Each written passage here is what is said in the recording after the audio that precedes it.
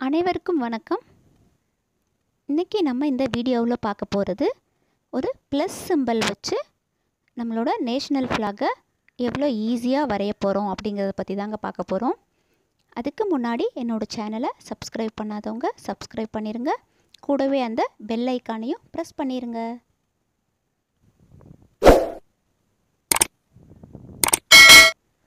இப்போ நான் இதை வரைகிறதுக்கு ஒரு ஏ ஃபோர் ஷீட் எடுத்திருக்கேங்க. ஒரு மார்க்கர் கையில் வச்சுருக்கேன்.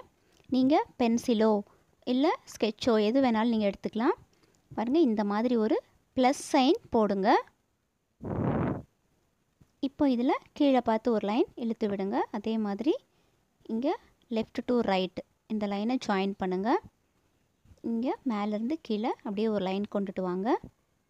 இந்த லைன் லைட்டாக வளைச்சி இந்த மாதிரி கொண்டுட்டு வரணுங்க. பாருங்கள் நம்ம ஸ்வஸ்திக்குன்னு சொல்லுவோம் இல்லையா? அது இப்போ ட்ரா ஆயிடுச்சு இப்போ இந்த இடத்துல ஒரு ரவுண்டு போட போகிறோம் இதுதாங்க நம்மளோட அசோக சக்கரம். அதனால் நல்லா மெதுவாக இந்த மாதிரி ஒரு ரவுண்டு போட்டுருங்க. அதுக்குள்ளே குட்டியாக இன்னொரு ரவுண்டு போட்டுருங்க. இப்போ இங்கேருந்து ஒரு லைனு கீழே வரைக்கும் நீங்கள் எவ்வளோ தூரம் லைன் வேணும்னு நினைக்கிறீங்களோ அவ்வளோ தூரம் போட்டுக்கோங்க. இப்போ இதை அப்படியே கம்ப்ளீட் பண்ணுங்கள் கொஞ்சம் வளைச்சி இந்த லைனையும் அப்படியே கம்ப்ளீட் பண்ணுங்கள் ஜாயின் பண்ணுங்கள் இப்போ அந்த ரவுண்டு கீழே இருக்கிற லைனையும் இதே மாதிரி ஜாயின் பண்ணிடுங்க இப்போ இதே மெஷர்மெண்ட்டுக்கு கீழே ஒரு பாக்ஸ் போடணுங்க.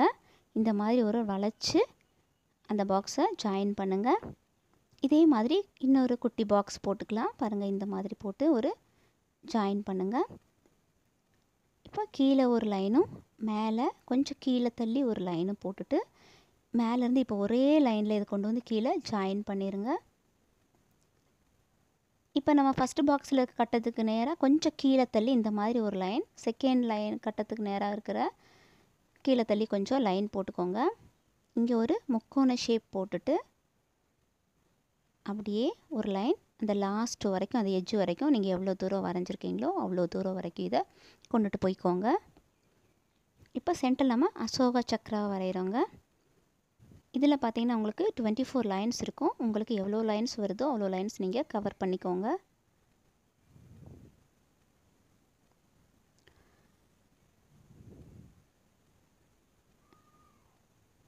இவ்வளோதான் பாருங்கள் ஈஸியாக நமக்கு நேஷ்னல் ஃப்ளாக் ரெடி ஆயிடுச்சு இப்போ நமக்கு இதை கலர் பண்ணலாம். பாருங்கள் ஃபஸ்ட்டில் இருக்கிறது சாஃப்ரான் சொல்லுவோம் இல்லையா? காவி நிறம். அதுதான் இப்போ கொடுத்துட்ருக்கோம். அதுக்கு நீங்கள் ஆரஞ்சு கலர் யூஸ் பண்ணிக்கோங்க. இந்த காவி நிறம் இருக்கு இல்லையா? இதை எதை குறிக்குதுன்னு சொன்னால் இது வந்து நமக்கு தைரியம் மற்றும் தியாகத்தை குறிக்குதுங்க. இந்த ஆரஞ்சு கலர் சேஃப்ரான் இது வந்து நமக்கு தைரியம் மற்றும் தியாகத்தை குறிக்குது. அதுக்கடுத்து பாருங்கள் நமக்கு நடுவில் ஒயிட் கலர் இருக்குது இது வந்து எதை குறிக்குது அப்படின்னு சொன்னால் அமைதி உண்மை மற்றும் தூய்மையை குறிக்குதுங்க. லாஸ்ட்டில் பாருங்கள் க்ரீன் கலர் பச்சை நிறம். இது வந்து நமக்கு செழுமை நம்பிக்கை மற்றும் வீரத்தை குறிக்குதுங்க. அதே மாதிரி ப்ளூ கலரில் அந்த அசோக சக்கரம். பாருங்கள் இதில் நமக்கு டுவெண்ட்டி ஃபோர் லைன்ஸ் இருக்கும் பாருங்கள் இந்த மாதிரி இதுக்கு ப்ளூ கலர் வச்சு நம்ம இதை ஃபில் பண்ணிக்கலாம். பாருங்கள் ஒரு ப்ளஸ் சைன் வச்சு எவ்வளோ ஈஸியாக நம்ம ஒரு அழகான நம்ம நேஷ்னல் ஃப்ளாகை வரைஞ்சாச்சு. அவ்வளோதாங்க. இந்த வீடியோ உங்களுக்கு பிடிச்சிருக்குன்னு நினைக்கிறேன். இதை பிடிச்சிருந்தா லைக் பண்ணுங்கள் ஷேர் பண்ணுங்கள் இது எப்படி இருக்குன்னு வரைஞ்சி பார்த்துட்டு உங்களோட கமெண்ட்ஸை எனக்கு மறக்காமல் தெரிவிங்க. தேங்க்ஸ் ஃபார் வாட்சிங் ஜெய் ஹிந்த்